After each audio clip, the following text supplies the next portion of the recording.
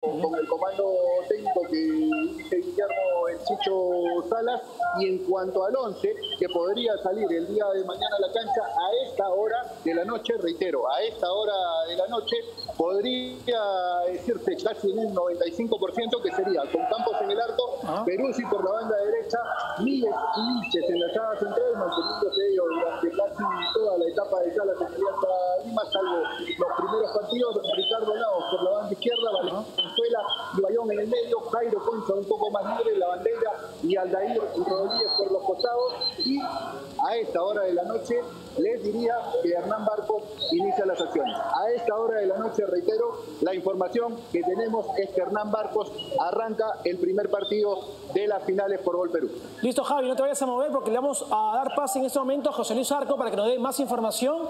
de Melgar de Arequipa. Vicente, ¿alguna consulta con todas las novedades del equipo rojinegro? Sí,